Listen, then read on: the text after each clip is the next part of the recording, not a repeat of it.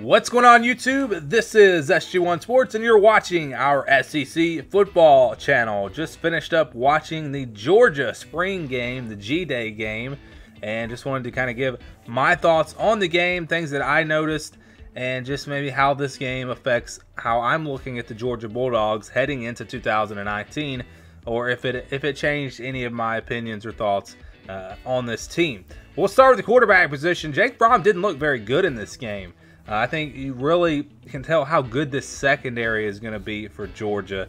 Uh, I don't think it was all on Jake Fromm, but he did not have a great game. Uh, didn't just didn't didn't look all that great in this one. That doesn't concern me. I think that we know what we're going to get what we're going to get out of Jake Fromm.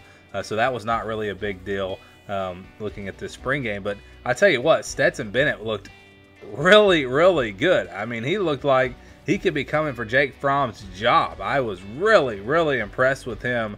Uh, just an unbelievable game, and, and just the the velocity on his throws, the the tight spirals, the accuracy. I mean, he just looked like a really, really good quarterback. I was not expecting that. I hadn't really seen the kid play, uh, so that really jumped out at me.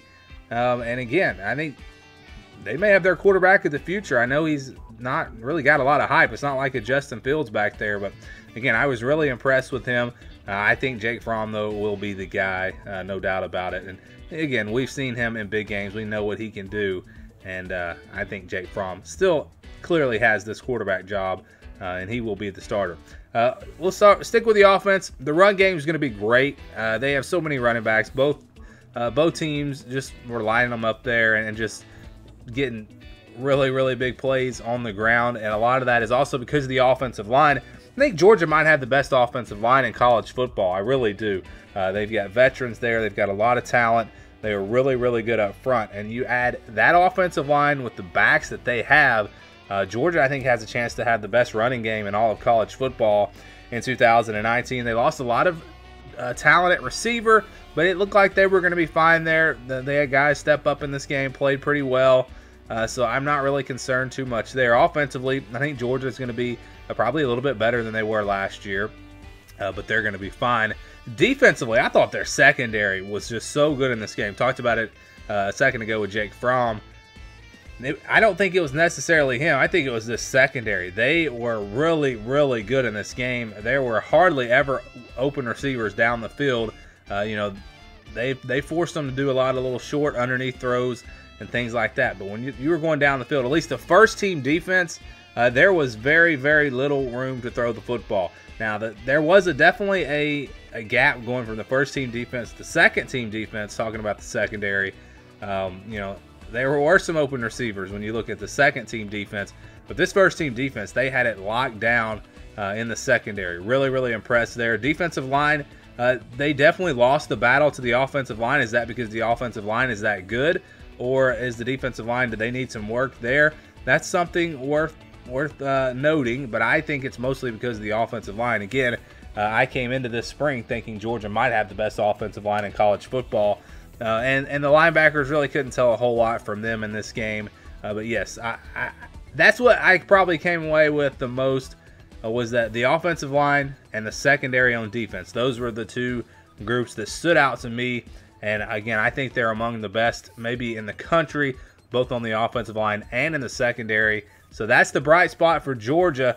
Uh, so did this game change my opinion of Georgia? Not really, because I already kind of thought that. Uh, like I said, coming into the spring, I already thought Georgia probably had uh, the best offensive line in the SEC. Already thought they maybe had the best secondary in the SEC. You know, Florida's got a really good one. LSU's got a really good one. Alabama's got a really good one. Uh, but Georgia is right up there with those teams. And uh, I think you saw that here in this spring game.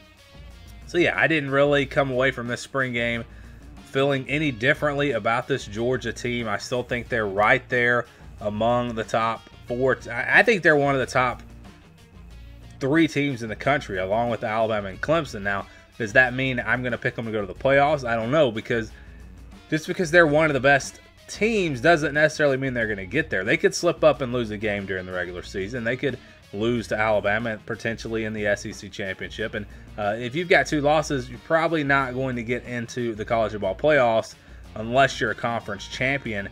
Uh, so just because they are, in my opinion, one of the top teams in the country with their schedule, that doesn't automatically mean that they're going to be a playoff team. And it's just gonna we're gonna have to see how it plays out. You know, if this team could go undefeated in the regular season, lose a close game to Alabama in the SEC championship, I think they're probably in. Uh, or maybe they beat Alabama in the SEC championship. I think they can definitely compete with Alabama. They've shown that the last two years. Uh, they've come close, and so maybe this is the year that they break through and they beat Alabama. Uh, but you know, I think this team is is on a short list of teams that can win a national championship in 2019. And once again, this spring game did nothing to make me think any differently. I would have liked to seen Jake Fromm play a little bit better, but again, it was just a spring game. And uh, I think it really just shows you the strength of this defense in the secondary. So I'd love to get your thoughts. What did you notice in this spring game? What were your takeaways? Maybe there was something that I missed uh, that, that you saw a little bit differently or whatever the case may be. let me know down in the comments below. Thank you guys for watching this video and stay tuned for more here on the SG1 Sports SEC Football Channel.